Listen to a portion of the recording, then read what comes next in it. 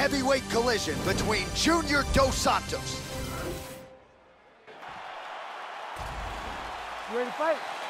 Ready. And we are underway here at the Mecca, Madison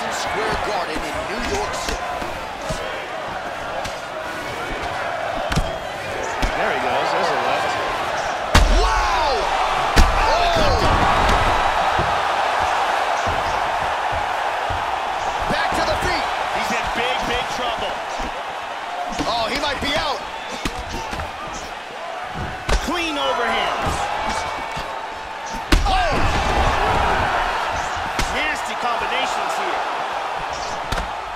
He's got him hurt here.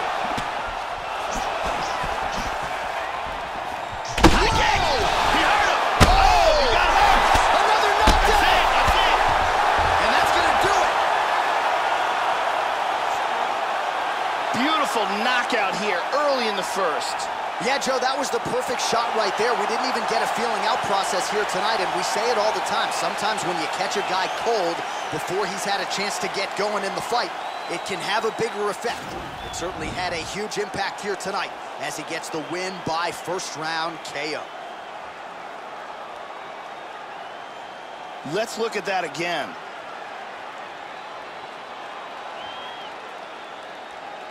Check it out again. Oh, man. KO. And there he is after the huge knockout turned in tonight.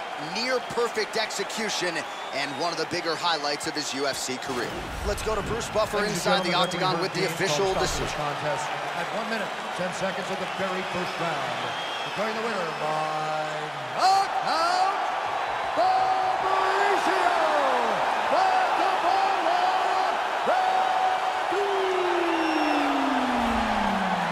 Well, Fabricio Werdum is a man. He's 40 and Vai Cavalo